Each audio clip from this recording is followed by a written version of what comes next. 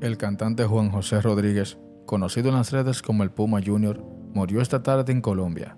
El artista nunca obtuvo el reconocimiento público de su padre, el famoso José Luis el Puma Rodríguez, pero sí el de sus medias hermanas Liliana y Lilibet Morillo, y el de la ex esposa del Puma, Lila Morillo.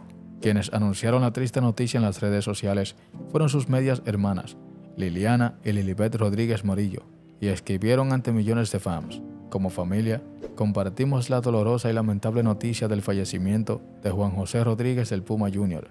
en Pereira, Colombia. Las causas de su muerte aún se desconocen y se estarán haciendo las respectivas investigaciones.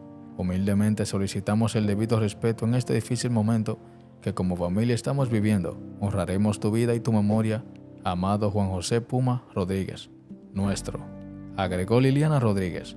Acto seguido Galilea López Morillo, única nieta del Puma Rodríguez, comentó en la publicación de su madre, que en paz descanse, su dulce presencia se va a extrañar.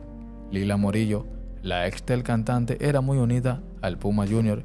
y siempre se apoyaban en sus carreras profesionales a través de la red. Hasta el momento, la artista no se ha pronunciado. El Puma Rodríguez nunca mantuvo una relación cercana con el Puma Jr.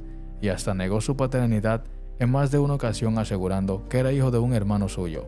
Pero ante esta devastadora noticia, no se ha hecho ningún comentario público ni en la red ni ante la prensa.